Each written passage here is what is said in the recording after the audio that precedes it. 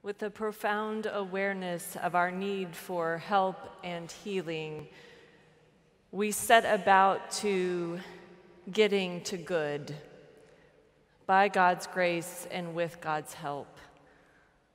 Like the Samaritan on the Jericho road, may we too be moved with pity to tend to the wounds of those around us and to tend to our own wounds.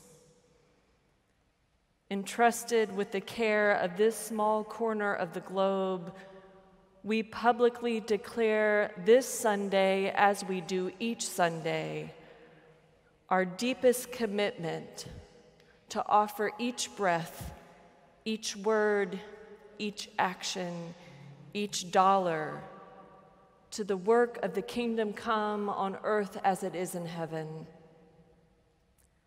And perhaps especially in these difficult days, we are called back anew to our humbling and at times daunting calling to keep giving and serving, to keep doing justice and loving kindness, to keep seeking peace and pursuing it, and to trust that somehow God's grace enters and does the rest.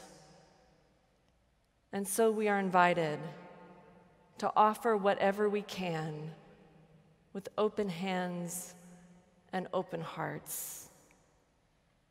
For those who are worshiping with us online, we invite you to give through our website or the mail.